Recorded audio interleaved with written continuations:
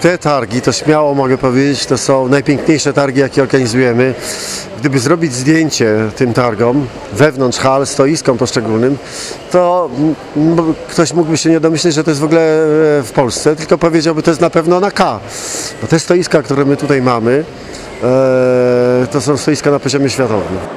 Te słowa prezesa targów w Kielce dobrze oddają specyfikę największych w Polsce targów branży tworzyw sztucznych. W tym roku podczas targów Plastpol wystawiało się blisko 700 firm z 33 krajów świata. Jeżeli chodzi o 17. edycję targów Plastpol, yy, była to wystawa dla nas szczególna z racji przede wszystkim inwestycji, które realizujemy wokół obiektów targowych, jak i również inwestycji przygotowywanych i realizowanych przez miasto Kielce, co pozwoliło wystawcom zaprezentować się w bardzo szerokiej formule no, z pełnymi możliwościami. Organizatorzy i wystawcy zgodnie stwierdzali, że największym problemem tegorocznego Plastpolu był termin targów. Ten rok był y, trudny z jednego powodu, mianowicie kalendarz troszeczkę zaburzyliśmy datę y, z racji w, terminów targów China Plast, jak również y, Bożego Ciała, które y, wychodzi w tym roku w standardowo organizowanym przez nas czasie, czyli ostatni tydzień y, maja. Tegoroczny Plastpol jest oczywiście co jak co 3 lata w cieniu targów K, które są w Düsseldorfie i z doświadczenia wiemy, że ilość odwiedzających jest odrobinę mniejsza, natomiast dzisiejszy dzień y, myślę, że jest zadowalający nie mniej niż pierwszy dzień ubiegłego roku. Jak co roku dużą uwagę gości targowych przyciągały maszyny. Stoiska głównych producentów wtryskarek były oblegane zarówno przez fachowców, jak i zwiedzających. Zainteresowaniem cieszyło się także stoisko grupy Azoty, które promował m.in. skoczek Piotr Żyła. Ale uwagę specjalistów przykuwały przede wszystkim stoiska wystawców nagrodzonych medalami i wyróżnieniami targów Kielce.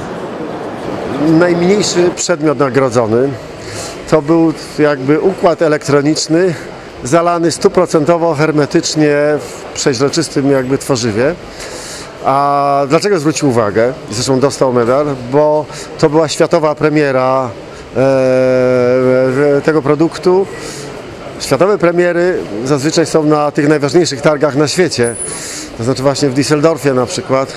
A jest to pewien ewenement i byłoby super, gdyby tak było w przyszłości, że również, że jakby przed takim światowym debiutem e, na, na targach K, e, gdybyśmy mieli tutaj e, światowe debiuty właśnie w Kielcach, na targach Plasma. Uzyskałem zgodę z dyrekcji Battenfelda, żeby to zaprezentować tutaj. Uważam, że te targi są na tyle istotne, a rynek polski jest na tyle duży i dobry, żeby pokazywać rzeczy interesujące. Generalnie jest to nowa technologia produkcji hermetycznych opakowań, zamknięć dla układów elektronicznych. W takich miejscach, gdzie bardzo istotna jest szczelność połączenia, trwałość tego połączenia i zrobienie całości w jednej operacji. Tutaj mamy robota do technologii IML o oznaczeniu KMS2. Jest to robot do podawania etykiety w przestrzeń formy, formy wtryskowej i odbieraniu detalu. Co jest ważne w tym robocie? Najważniejsze to, co klienci oczekują, to jest czas cyklu w przestrzeni formy. Ten robot w pełnym, z pełnym obciążeniu, z pełną prędkością uzyskuje ten czas na przedziale 1,3-1,35 sekundy, co jest osiągnięciem na skalę praktycznie europejską i światową. Nagrody podczas targów wręczała także redakcja portalu plastech.pl. W konkursie na najlepszą stronę internetową w branży tworzyw zwycięzcą została firma e-prototypy SA. Naszym zdaniem jest to tak jakby wizytówka, tak? Okno na świat, okno do, do ludzi, jedna z form, z głównych form e, promocji. Wiadomo, dzisiaj w XXI wieku jednak, że praktycznie każdy ma internet i korzysta z tego. Jest to największe źródło informacji, e, więc zależałoby na tym, aby jednak ta forma informacji była jak najbardziej czysta, przejrzysta i docierała do klienta w jak najbardziej zrozumiały sposób. Nie tylko rozwiązania nagrodzone i stoiska wielkich firm przyciągały zwiedzających. E, urządzenie e, typu ramię pomiarowe e, wyznacza nam pozycję skanera 3D w przestrzeni, także skanując element mamy na bieżąco zbieraną chmurę punktów z detalu za pomocą wiązki laserowej i kamery CCD, która odczytuje wiązkę lasera odbitą od detalu i w ten sposób uzyskujemy pełną geometrię w przestrzeni trójwymiarowej zeskanowanego detalu.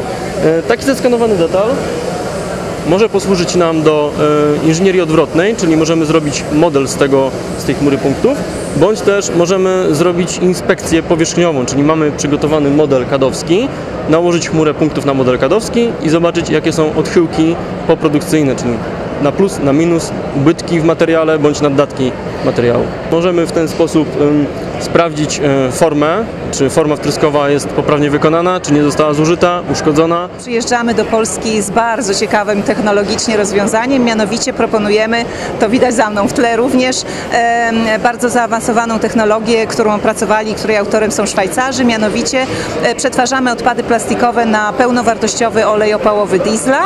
E, Nasza technologia e, znacząco może poprawić kondycję, jeśli chodzi o, o nieszczęsne odpady, które wokół nas gromadzą się każdego dnia i to nie dotyczy tylko Polski, ale całego świata. Opinie na temat kieleckich targów nie były jednorodne.